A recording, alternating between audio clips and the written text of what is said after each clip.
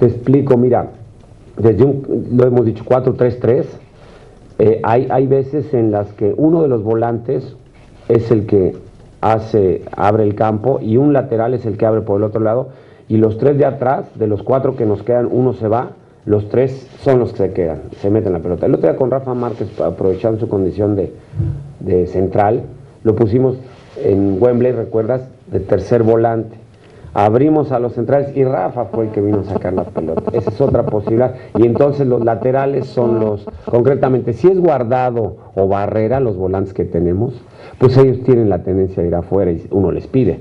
Pero si es Torrado y Juárez, por ejemplo, dejo que vayan Salcido y que vaya Paul Aguilar. Y Márquez es el que se mete. Entonces, juegue quien juegue mañana, Gambia, perdóname, vamos a hacer eso. Y Javier juega con dos puntas en su equipo, ¿no? Entonces es normal cuando juegas 4-4-2 que a esos dos les pidas mucha movilidad, uno va por el costado.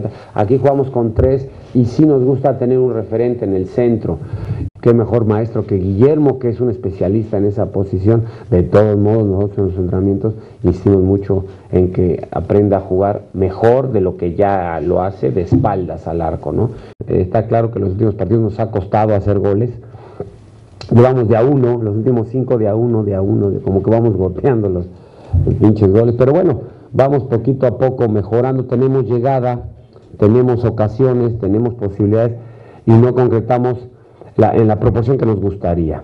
Nada, los porteros tienen que jugar cuando son requeridos y cuando no son tienen que tener la misma conducta con su compañero que va a iniciar. Eso de que necesita confianza, eso lo vengo oyendo, que el suplente o los otros no necesitan confianza. Si tú dices, este es uno, y los demás ya se chiflaron para todo el mundial o para todo el evento, para toda la concentración.